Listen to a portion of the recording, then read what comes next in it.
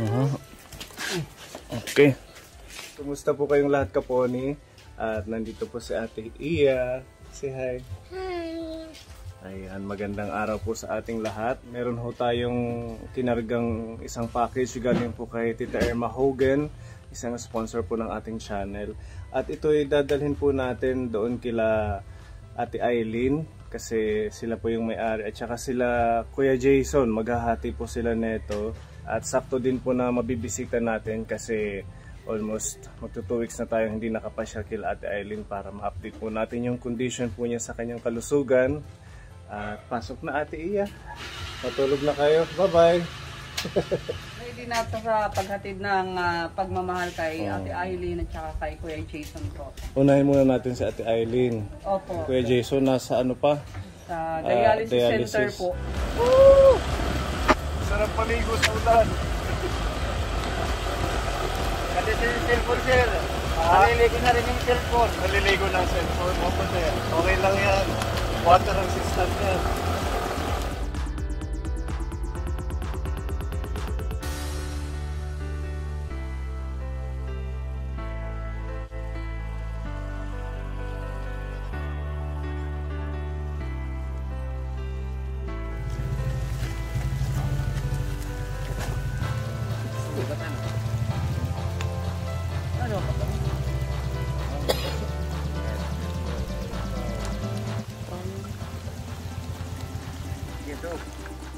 Kuya Sunny lang, patulong muna kami.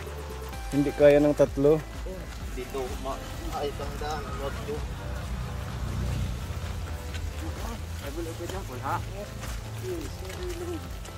Karani na. Tumudulas. Kaya muna. Ito nga nay. Grabe ang bigat. ang daming blessing. Oh, dito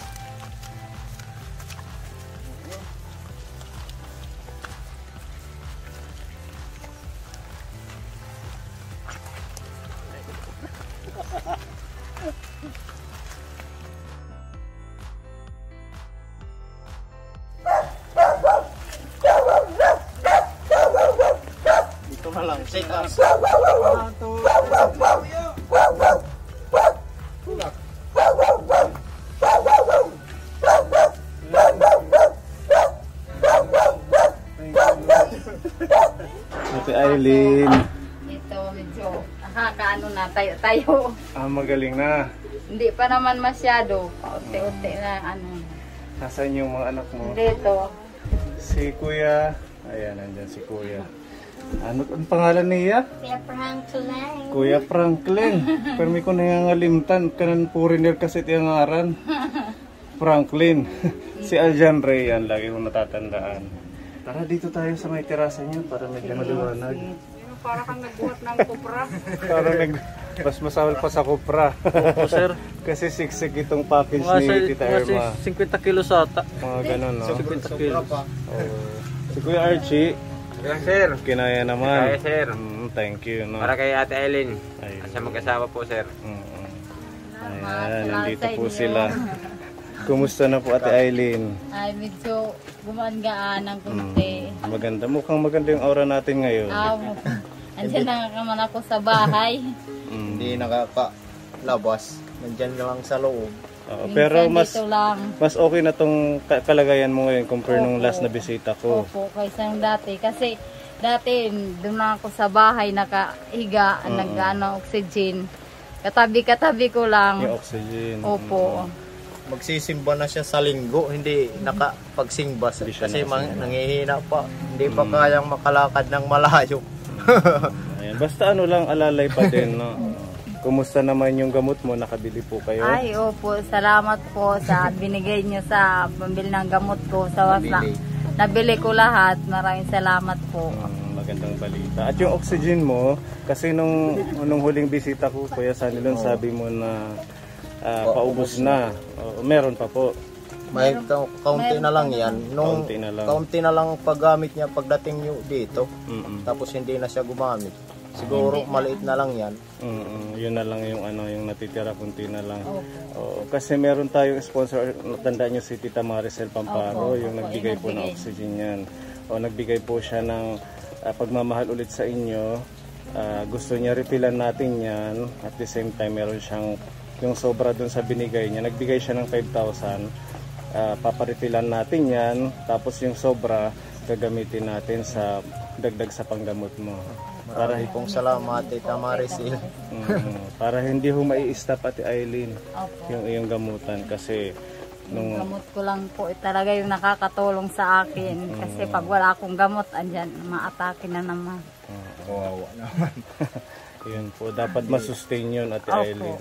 Kaya lang na- na-stop yung gamutan natin nung huli kasi matagal akong hindi nakabisita. Opo, mayroon Nagpunta pa kami sa naman. Manila. Nanhingi kami ng ano, ng, ng gamot dyan sa ano, yung mga gamot ko. Sa Sina- munisipyo. Sa munisipyo. Eh, doon siguro, iwan ko, doon yata. Umano, parang hindi, Ibang brand, ibang brand. hindi gaan ng Hindi. gamot ko. Dapat yun pa din yung gamot mo, hindi yung pa-iba-iba. Siguro mga branded.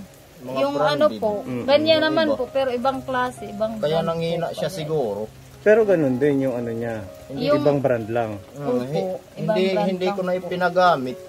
Mm-mm. Bumili na lang Madami pa kami. naman yan, binigay sa akin, kaso hindi sa akin umaepekto kahit na nga yung gin- binigay nilang medi- ng medisina nila na Rosemen yung papaihi ko, Mm-mm. yun hindi sa akin umaano. Mm. Kahit dalawang beses na ako nagtitik, hindi talaga. Maganda sana yun yung libre sa ating Opo, munisipyo. Ang yung problema. ano, yung makabawas ba ako, sabi ko para makaano, maka ano naman kasi mara, malaki naman kasi yung yung ano yung pambilang gamot ko sabi ko yung bibili ako ng bibili ako tapos dito na lang ako manghihingi sabi ko kasi hindi kasya ang pera ko tapos yun nga nanghingi kami nanghingi ang ate ko tapos yun nag, na ibigay naman sa akin yun ang tinitik ko tapos parang walang epekto Mm. Sa Pero nag ano yun, nag-undergo ka ng check-up doon. May doktor sa munisipyo. Mayroon yung naman po. resita ng opo, niyang bago. Ay, yung pinakita mo yung resita. Nakita yun ang sabi niya na ito daw yung available daw to. Tapos pag ano ko naman, sabi ko bakit iba ang ano Iba niya. yung ano Iba sa'yo. yung itsura. Bumibigat yung katawan hindi, niya. Hindi, ano nang ano. Maski makalakad, hindi nakakalakad. Siguro sabi ko doon yun yung yung gamot na hiningi ko lang. Kaya noon nung pinuntahan niyo ako, nakabili kami, pinapunta ko agad yung asawa ko. Oo, buti naman. Tapos naman, nag-take ako. Tapos sabi ko, maganda na. Maganda Tapos, sa'yo. Opo, ayaw, sabi ko, ayaw ko lang Hindi ko Inumin yung ano. yung Yung galing sa munisipyo. namin. Oh, yun na lang at Eileen. Total, kahit pa paano, mararamdaman mo naman sa Opo, sarili mo at sa kalusugan mo naman, na nag-i-effect sa'yo. At the same time, may pagbabagong maganda. Yun lang ang dapat natin susundin yung prescription ng kasi doktor. nagpa, nagkakakabag din ako yung, yung ano yung Mm. maano yung malabdog na yung tiyan ko, Oo. yung maardaming hangin. Mm. Yun po, yun yun yung epekto ng gamot nila dyan sa akin. Hiningi ko. idadagdag mo sa pambili ng gamot, Ate Eileen. Kasi gusto natin talaga na masustain ito. Kasi wala naman ibang way na ah, magiging okay ang kalusugan ni Ate Eileen kundi yung maintenance ng gamot. Kaya sobrang sobrang malaking pasasalamat natin kay ah, Tita Maricel Pamparo at sa mga kapon ni family sponsors na nandyan para po sa pagpapagaling ni Ate Eileen. Ayan, ito po. Dahil meron pa namang kunting laman yung oxygen, Kuya Sanilon, saka mo na lang paripilan kasi nagtanong tayo nung huli, nasa almost 1,000 yung refill niyan. Oh, ano po, nagpunta po kami Sa- kanina ni Kuya Archie, 1,100 po. Saan, saan naman? Kaila, kainday po, Kainday, ka, opo, may, No, di pa kadut, antisit, may, Yan, mm, dyan. mm-mm. Kung 1,100, ang sobra dito sa padala ni Tita Maricel na 5,000, panggamot mo ito. Pambili ng maintenance mo ito. 1,000, 2,000, 3,000, 4,000, 5,000. Tita Maricel, maraming salamat po sa binigay niyo sa akin na tulong na pera para makaano ako ng makapagpalagay ng oxygen at saka yung gamot ko. Maraming maraming salamat po. Kung hindi dahil sa inyo siguro ano ako ngayon lupay-pay. Salamat po sa lahat kasi ang hirap talaga pag wala akong gamot kasi umaatake yung sakit ko dahil ang mahal. Andyan lahat yung mga resibo kung hindi kayo ano, nandyan yung mga resibo iniipon ko. Mm. Yun po. ah. Maraming maraming salamat po sa binigay niyo sa akin. Malaking tulong to. Love na love ka ni Tita Maricel. Ng family po niya. Mula nung umpisang nakita niya yung video mo, hanggang ngayon uh, patuloy Hindi niya ako nakakalimutan. Salamat Tita Maricel. Hindi mo ako nakakalimutan. Sana hindi ka magsawat. Maging maayos ang buhay niyo dyan. Para marami pa kayong matulungan na tulad ko. Na sobrang nangangailangan talaga. Kahit lang sa gamot ko. At si Kuya Sanelon, syempre, Marami pong salamat Tita Maricel sa saya na yung asawa ko kasi may pandagdag na damang pambili ng gamot. Marami pong salamat Tita Maricel. wala kang trabaho ngayon, Kuya. Tatrabaho na kasi. Ha? Tatrabaho na ngayon. Ah, nagtatrabaho Oo, na. kasi may bisita kami doon. Ah, may bisita. Yung sa resort, Oo, sa resort. nag-open na sila. Yung trinatrabaho naming kwarto, hindi pa. Ah, hindi pa. Inaayos pa Yung namin. mga swimming pool pala. Oo. Ngayon may bisita doon. At least ano, continuous na naman yung kabuhayan nyo. Hindi nakakapag-save dahil sa may pamilya or miyembro ng pamilya na may karamdaman. Kaya laban lang, Ate Aileen, Kuya Sanilon. At para sa mga anak nyo, nagpi-face to face na. Pipis to pis na yan. Uh, good Meron luck na. Ayan, para kay nanay nyo, gagalingan nyo. Dalawa po yung may-ari. Ah, may partition po siya. Alam ko ganun si Tita Irma hinahati niya. Yung, ayan, may pangalan. Yung kalahati sa inyo. Tapos yung kalahati kay Kuya Jason, yung isang tinutulungan natin na, na nagda-dialysis. Marami pong salamat, Tita Irma. Maraming salamat po sa package. Maraming salamat po, Erma. Ayan, excited na kayo sa package ni Tita Irma? okay, unbox na natin. Binaliktad na lang natin ito para maiabot yung, kasi nasa ilalim yung kila Ate Eileen. Opo, opo. Excited na ako. Tumayo si Ate Eileen. Open na po natin. Ayun.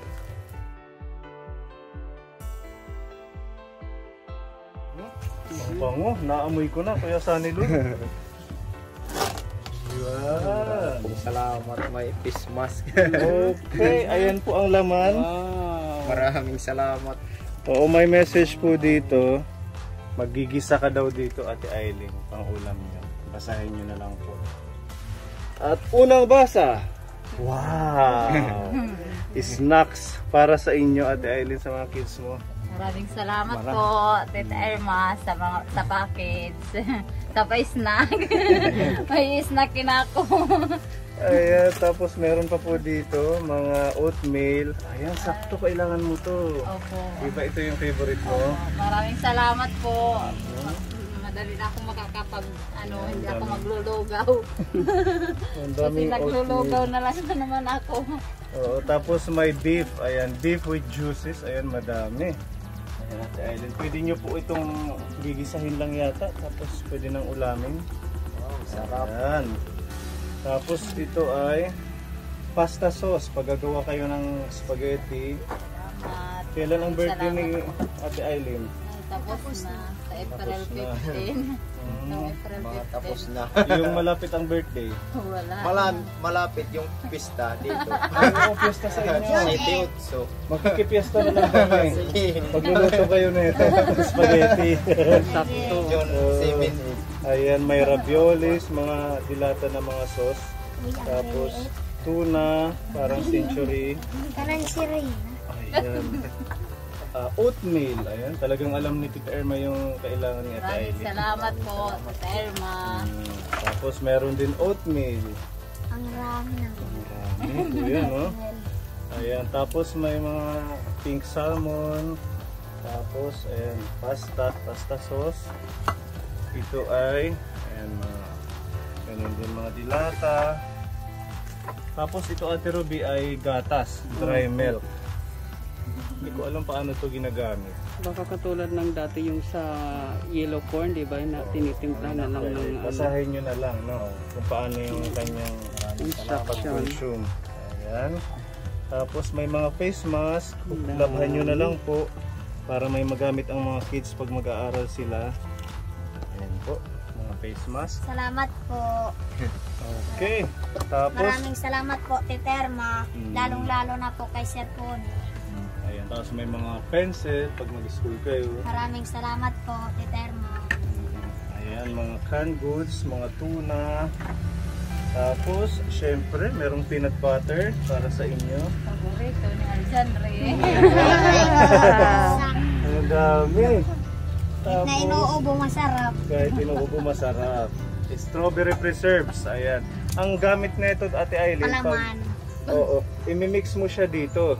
Ay hahalo. Oo, para may, kasi- kasi yung peanut butter ng ibang bansa matabang, ito pampatamis, yung mga syrup. Ganun. Ayan. Tapos ito ay tomato ketchup. Ketchup. Ayan. Ang daming mga dilata. Hindi nabibili ng pangulam si Tatay Sunny Lord. Tapos ito na ay ng ha? medisina. medisina na lang. Tsaa. Pwede kang magtsaa. Ano? Tapos grape jelly. Pwede yan sa peanut butter imimix mo para masarap. May noodles. Ayan. Tapos mga dry milk. Kuya sa Lord. Ang dami. Tapos white chicken.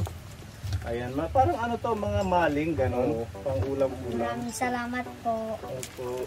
At ito pa beef juice. Ah, beef with juices pala. At ayan, white chicken. Then ravioli.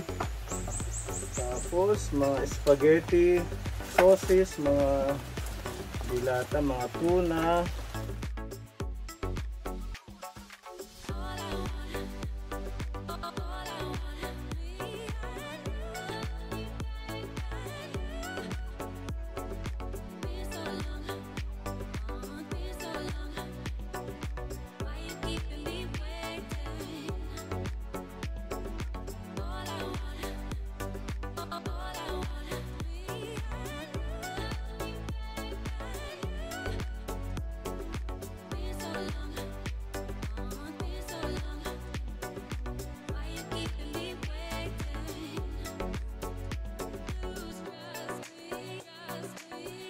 Tapos ito ay Bado ni Nana. ayan, sakto kay Ate. Aileen, no? Mukhang galing Japan. America, hindi Japan. ayan, may beef stew. Ayan, no? Beef stew. Tapos, ayan, chicken breast. Mhm, Tapos ito ay pasas. Nagagamit mo ito ngayong fiesta. At syempre, meron pang oatmeal. Maraming oatmeal. Kasi yan yung kailangan niya yung nanay mo. Tapos mga towel. Ito po ay kay Ate Aileen ko. Okay. Ito pa, may damit. Kay Ate Aileen. Lagi na lang kay Nana. Special si nanay mo. Love ni Tita Irma. Tapos lang tayo. May plums. O, sa'yo na ang plums. Ako na eat naman. Ayan, so, Okay. Ayan. Tapos may toothbrush para toothpaste sa mga kids mo. Tapos meron na siyang partition, Ate Ruby. Ito na siguro yung kay Kuya Jason. Itong may towel, no? Oo. Yan yung, kay, yung may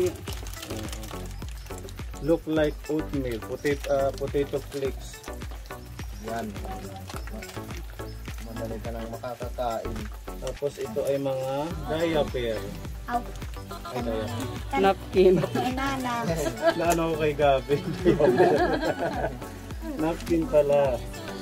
Ayan. Ang daming snacks, oh. Mga kids, oh. Ayan, madami yan. Hawak. Uh-huh. Ang pulot-pulot-pulot. Ano ka lang? Kanan. Gusto na diya ito malapit siya. Tapos ito pa. Nalinaw. At ito, ilabas na natin yung mga... Kasi meron siyang partition kaponi. Ayan, kung mapapansin nyo. Ito na siguro yung kay kila Kuya Jason. Ah, ito. Kay Ate Aileen pa daw to. Ah, boys, boys. ah. Oo. Pagtata. Boys hindi mother.